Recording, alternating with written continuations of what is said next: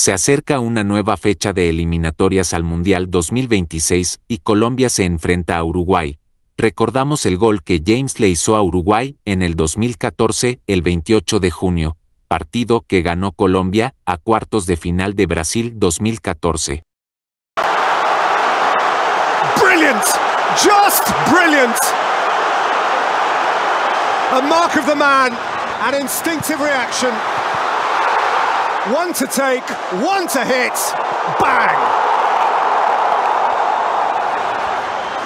Technically superb and visionary. To have the ability and the audacity just to try it and the excellence to execute it. Few in the world could do that.